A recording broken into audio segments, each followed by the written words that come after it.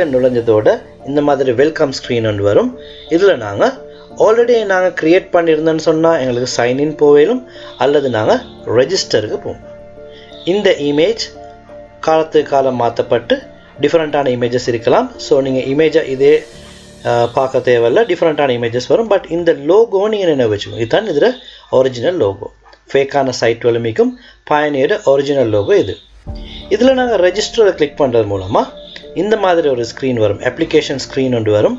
இதில் நாலு ஸ்டெப் இருக்குது. இந்த இடத்த பார்த்தீங்கன்னு சொன்னால் நாலு ஸ்டெப் இருக்குது. இதில் இப்போ இந்த ஆரஞ்சு கலரில் காட்டக்கூடியது முதலாவது ஸ்டெப்பில் நாங்கள் நீங்கள் முதலாவது இதில் செய்ய வேண்டிய வேலை நீங்கள் இந்த பயணிய கார்ட் ஒரு இண்டிவிஜுவல் தனி நபருக்காக க்ரியேட் பண்ணுறீங்களா அல்லது ஒரு கம்பெனி ஒன்று க்ரியேட் பண்ணுறீங்களான்னு பாருங்கள் இதில் தனிநபருக்காக க்ரியேட் பண்ணுறதுனால தான் அதிகமான பெனிஃபிட்ஸ் இருக்குது. ஃப்ரீ சார்ஜஸ் ஃப்ரீயாக எங்களுக்கு எடுத்துக்கொள்ளக்கூடிய வாய்ப்புகள் இருக்குது.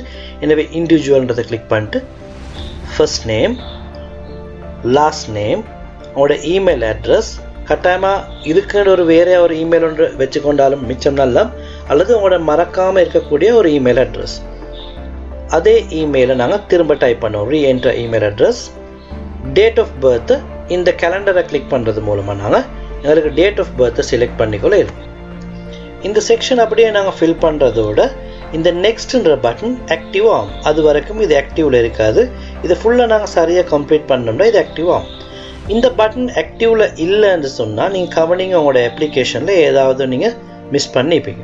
ஓகே இந்த நெக்ஸ்ட்டை கிளிக் பண்ணுறதோட பாருங்கள் இப்போ நான் இதை ஃபில் பண்ணியிருக்கிறேன் சாம்பிளுக்கு இதை ஃபில் பண்ணதோட இது ஆக்டிவ் ஆயிடும் நேரத்தோட இந்த மாதிரி இருந்துச்சு ஆக்டிவ் ஆயிடும் ஓகே அதோட நெக்ஸ்ட்டை கிளிக் பண்ணுறதோட ரெண்டாவது ஸ்டெப்புக்கு வந்துடும் கண்டாக்ட் டீட்டெயில்ஸ் இந்த கண்டாக்ட் டீட்டெயில்ஸுக்கு வந்ததோட முதலாவது கண்ட்ரி இது ஆட்டோமேட்டிக்லி ஸ்ரீலங்கான்னு காட்டும் அப்படி இல்லாட்டி நாங்கள் மாற்றணும் address one address two city address two இல்லாட்டியும் பரவாயில்ல அட்ரஸ் ஒன்னு போட்டுருந்தாங்க சிட்டி போடுவோம் அதே மாதிரி ஜிப் கோட் உங்களோட மொபைல் நம்பர் இது ரீசெண்டாக ஆட் பண்ணிக்கிறாங்க மொபைல் நம்பர் நீங்கள் லேண்ட்லைன் கொடுக்கலாம் அல்லது மொபைல் நம்பர் கொடுக்கலாம். இந்த செக்ஷனை ஃபில் பண்ணுறதோட நெக்ஸ்ட் இப்போ தேர்ட் ஒன் செக்யூரிட்டி டீட்டெயில்ஸ் இந்த செக்யூரிட்டி டீட்டெயில்ஸில் உங்களுக்கு ஒரு யூசர் நேம் ஒன்று கொடுக்கணும் ஈஸியான ஒரு யூசர் நேம் கொடுங்க.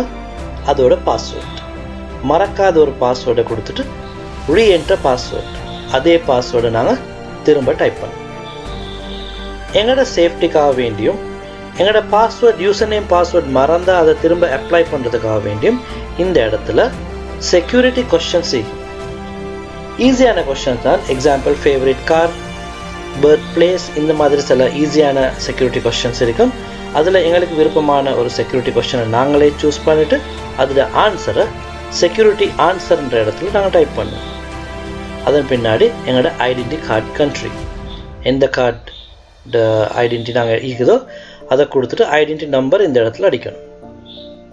வெரிஃபிகேஷன் கோட் ஒன்றையும் இந்த இடத்துல காட்டக்கூடிய கோட் இந்த கோடை நாங்கள் இதில் டைப் பண்ணுவோம் சம்டைம் இதில் காட்டக்கூடிய கோட் எங்களுக்கு கிளியர் இல்லைன்னு சொன்னால் இந்த மார்க் ரிஃப்ரெஷை கிளிக் பண்ணி எங்களுக்கு கோடை சேஞ்ச் பண்ணிலும் அல்லது இந்த ஸ்பீக்கர் மார்க்கை கிளிக் பண்ணுறது மூலமாக அதை எங்களுக்கு கேட்கிடும் அது என்ன கோட்னு கேட்டுட்டு எகெயின் நெக்ஸ்ட் இதை ஃபில் பண்ணுறதோட அடுத்த ஸ்க்ரீன் வரும். இப்போ நாலாவது இறுதி ஸ்டெப் ஆல்மோஸ்ட் டன் இதில் தான் இம்பார்ட்டண்டான உண்டு எங்களோட பழைய முந்தி பயணிய அக்கௌண்ட் க்ரியேட் பண்ணும்போது ஸ்ரீலங்கா பேங்க் டீட்டெயில்ஸ் எதுவும் நாங்கள் வழங்க தேவையில்லை. ஆனால் பாதுகாப்புக்காக வேண்டி இப்போ நாங்கள் ஸ்ரீலங்காலையும் அக்கௌண்ட் ஹோல்டர் ஒன்றுக்கு மட்டும்தான் இந்த பயணிய கார்டு அப்ளை பண்ணலாம். ஸ்ரீலங்கா மட்டும் இல்லை எந்த நாட்டிலேருந்து அப்ளை பண்ணுறாங்களோ அந்த நாட்டுக்குரிய ஒரு அக்கௌண்ட் ஒன்று இருக்கணும்.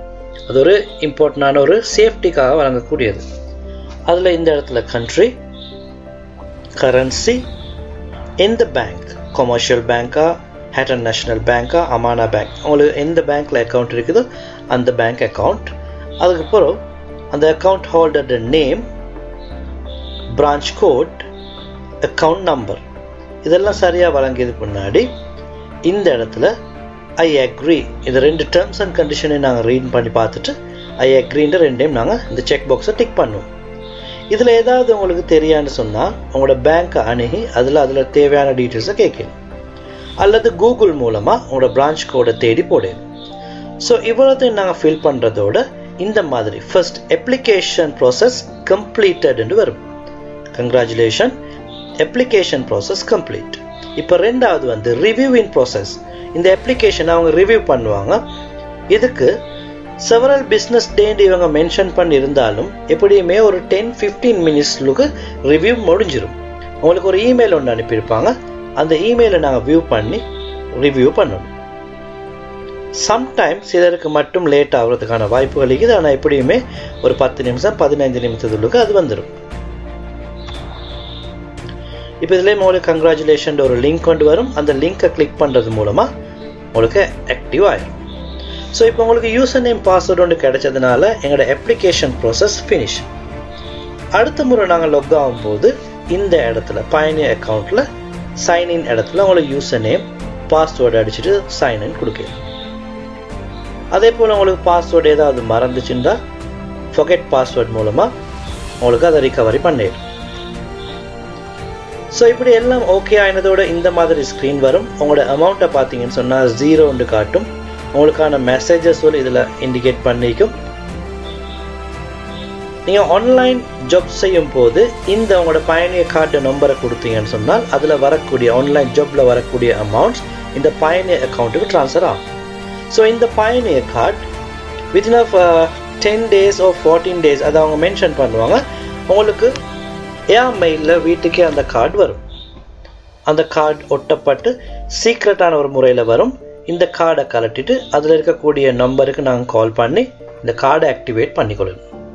அல்லது இமெயில் மூலமாகவும் எங்களுக்கு கார்டை ஆக்டிவேட் பண்ணிடும் அதன் பின்னாடி எங்களுக்கு தேவையான பாஸ்வேர்டு அடித்து வேண்டிய ஒரு ஏடிஎம்மில் எங்களுக்கு இந்த கார்டை யூஸ் பண்ணிடும் ஸோ நாங்கள் தான் பாஸ்வேர்ட் போடுவோம். அவங்க டெம்பரரி பாஸ்வேர்டு ஒன்று வச்சுருப்பாங்க. அதை நாங்கள் மாற்றி எங்களுக்கு தேவையான மாதிரி யூஸ் பண்ணிக்கொள்ளணும் ஸோ இது சம்மந்தமான மேலதிக ஏதாவது டவுட் இருந்தேன்னு சொன்னால் பயணிய வெப்சைட்டுக்கு போய் நீங்கள் அவங்கள கம்ப்ளைண்ட் பண்ணலாம் அல்லது அவங்கள்ட்ட கொஷின்ஸ் கேட்டு அதை கிளியர் பண்ணிடும்